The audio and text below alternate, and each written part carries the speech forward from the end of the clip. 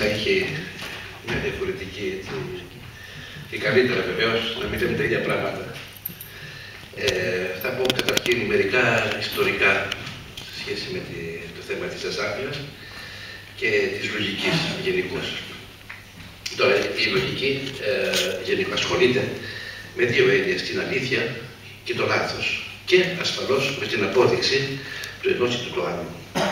Αυτές οι έννοιες έχουν μελετηθεί επί αιώνες από φιλοσόφους, από γλωσσολόγους, από μαθηματικούς.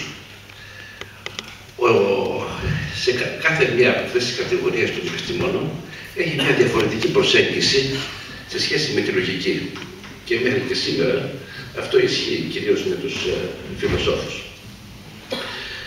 Ε, ένα παράδειγμα είναι ότι η διαλεκτική λογική που ουσιαστικά θεμελιώθηκε από τον Ηράκλειτο, μιλάμε για μια περίοδο 500 π.Χ.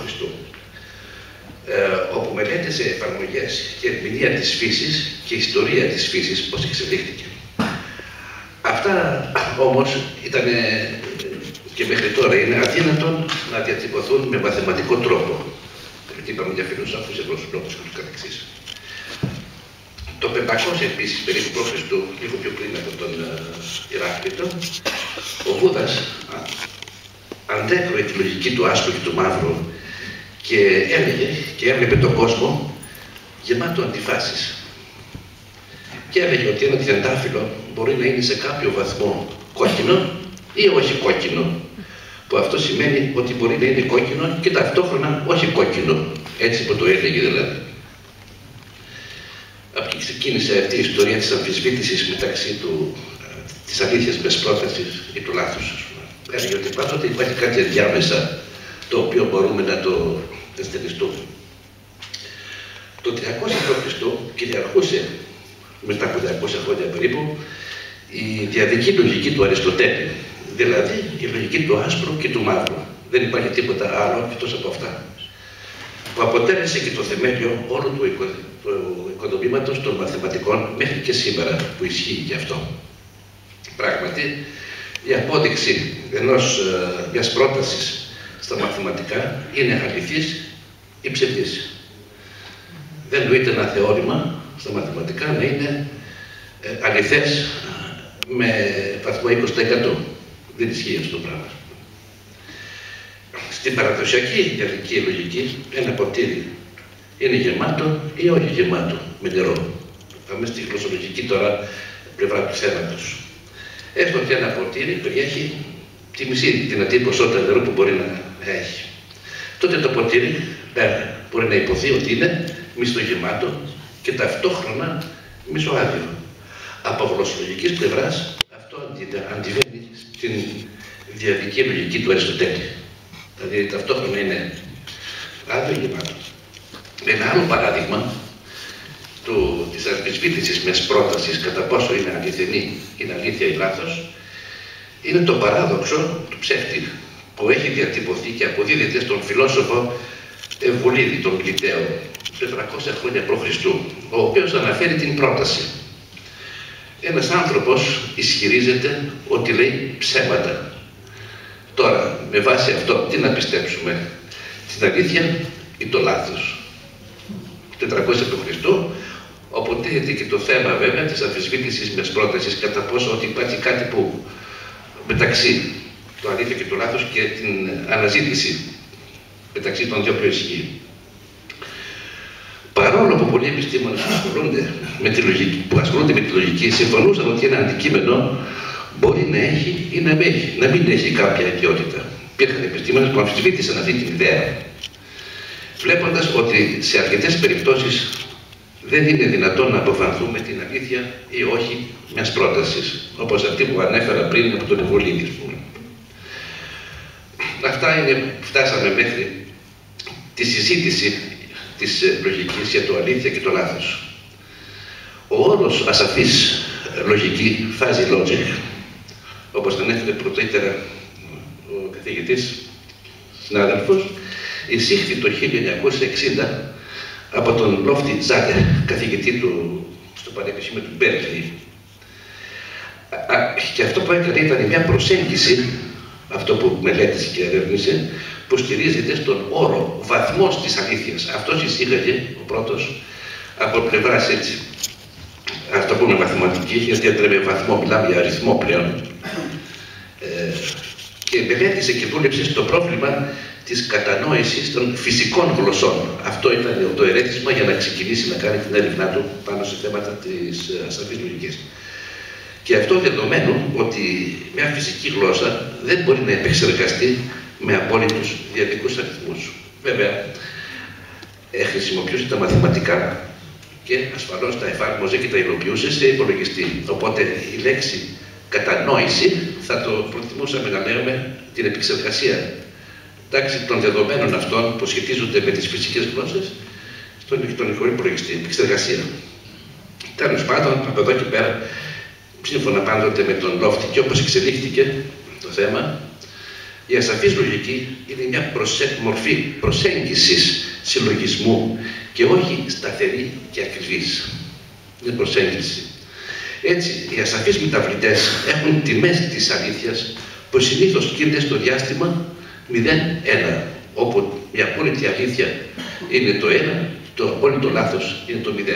Και μεταξύ αυτών των δύο, εντάξει, ε, μπορεί να προσδιορίσει κανείς με διάφορες συναρτήσεις στα πλαίσια της περιοχής της, της επιστήμης της λογικής, ποια είναι, ποιος είναι ο βαθμός της αλήθειας. Βέβαια, όσον αφορά το διάστημα 0-1, ανάλογα με το πρόβλημα και με την περίπτωση, δεδομένου από το 0 έως το 1 έχουμε άπειρες τιμές, μπορεί κάποιος να καθορίσει μια κλίματα που να βολεύει στην αντίστοιχη έρευνα.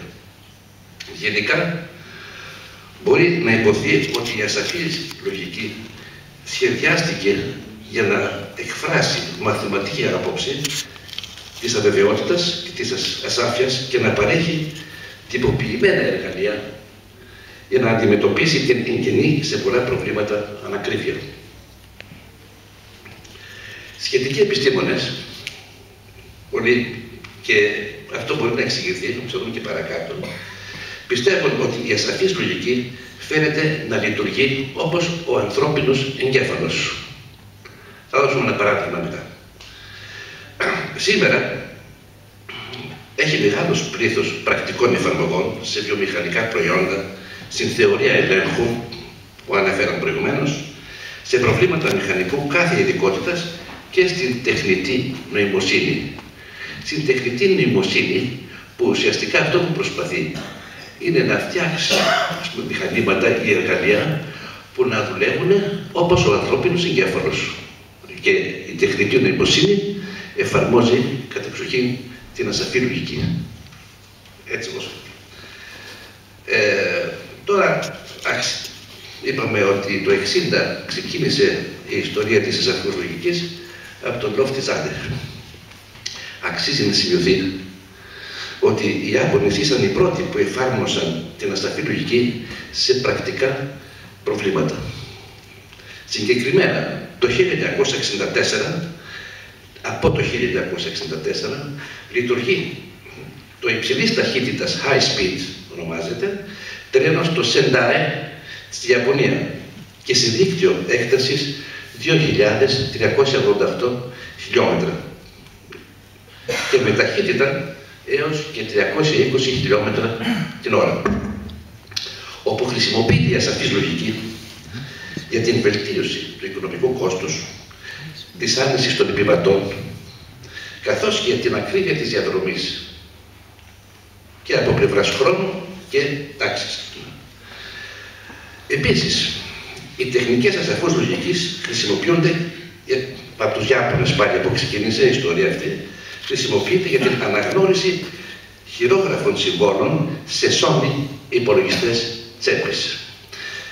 Ένα παράδειγμα θα πω και εδώ πέρα μπορεί να φανεί πώς είναι η παρομοίωση με τον ανθρώπινο εγκέφαλο. Αν γράψω το όνομά μου όσες φορές και να το γράψω, δεν θα είναι ακριβώς το ίδιο. Με την ασαφή λογική όμως, σύμφωνα με διάφορες τεχνικές, μπορώ, αν γράψω το όνομα, το σίγμα, το ταφ, το όμικρο, το σίγμα, όσες φορές και να το γράψω, ποτέ δεν θα είναι το ίδιο. Και με την τεχνικές της ασαφής λογικής μπορούμε, μπορεί δηλαδή να, με κάποια πιθανότητα πολύ μεγάλη εντάξει, να ταυτοποιήσει και να διαβάσει και να μας πει το όνομα το οποίο θα έχει γραφεί χειρογράφος. Βασικά εκεί βλέπουμε μια παρομοίωση με τον τρόπο που σκέφτεται και ο ανθρώπινος εγκέφαλος. Σήμερα εφαρμόζεται σε πολλές διαδικασίες της καθημερινότητας σε σχέση με αυτά που σας είπα για τους διάφορους που το ξεκίνησαν, όπως σε ηχητική αναγνώριση.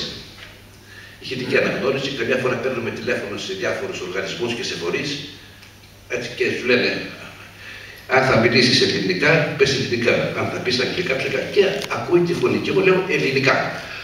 Όσε φορές και αν το πω, ποτέ δεν θα είναι το ίδιο. Είτε από πλευράς έντασης, είτε από πλευράς προφοράς. Μπορεί να το, να το πει ένας άλλος, αν πω, πείτε ναι ή όχι. Ένας ε, μη Έλληνας θα πει διαφορετικά το όχι. Θα πει όχι ή όχι ή οτιδήποτε άλλο.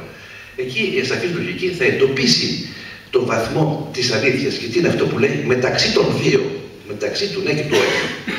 Δεν είναι ότι θα ψάξει μεταξύ πολλών δεδομένων, αλλά μεταξύ των δύο αυτά.